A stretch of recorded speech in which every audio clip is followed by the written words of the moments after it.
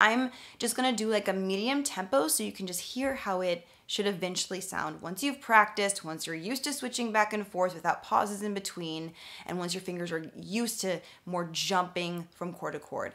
Some chords take longer than others to master. Sometimes you can master, you know, a switching between certain chords like C and A minor or something within a week or two. Some chords takes longer, maybe like a month or more, depending on how much time you have to practice and all of that. Certain chords are just harder than others, but with practice, you'll get them out and it's gonna sound so good. So just know if it is taking you more time than you think, either spend more time practicing or give yourself a little grace because it does take time.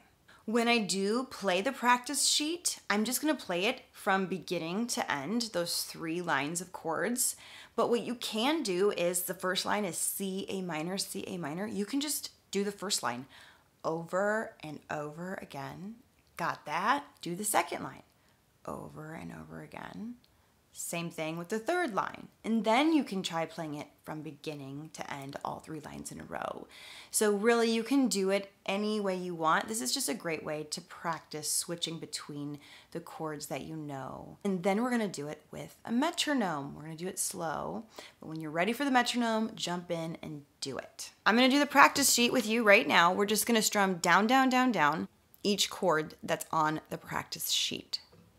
I'll put it on the screen as well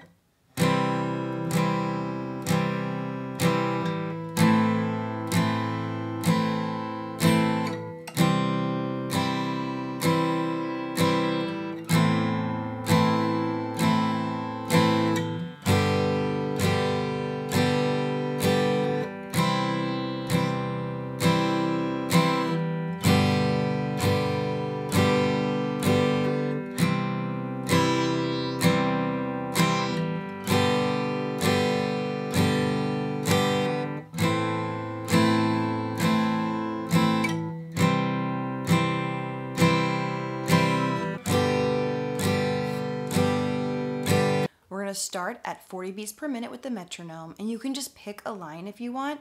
You know, memorize that line. Okay, I'm just gonna do C A minor, C A minor over and over again. Okay, cool. And then play it. And then once you got that, do the next line and so on. Or you can do it from beginning to end, but just know where you're gonna go before you go there. That's what makes it the fastest when you have the chords memorized, you know where your fingers are going, but also in your mind, you know what chord you're going to play next. So if you just stick with the first line, C, A minor, C, A minor, then you know, okay, well, I know where I'm going to go next because I just am doing those two chords. So, and then you can also try just reading it too as you go along. So, what I would recommend is just kind of picking two chords at first, and then you could do the whole thing.